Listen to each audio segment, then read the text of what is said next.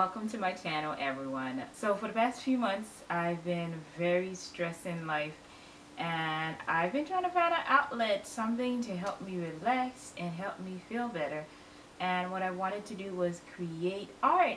I got into looking online and I love the cosplayers that I've seen online and I love what they do but it takes an incredible amount of skills and so much time to create a cosplay especially when you're limited in items like I am. So what I wanted to start doing is creating some art pieces creating a few clothes just different things to work on my skill level and then we're gonna get on to creating some amazing cosplays. So if you guys see on my channel.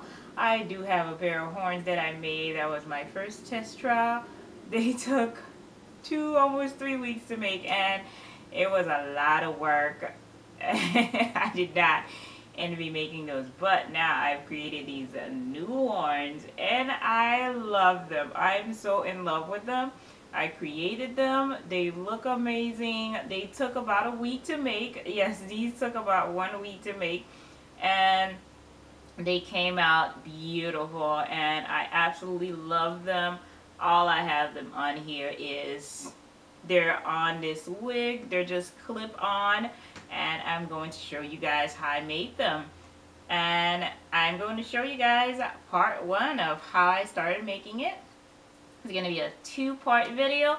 So this is going to be part one on how I made these horns. And it's just going to be how I, the materials, cutting it and sanding it down and painting it with gesso to begin with and give it a good base look.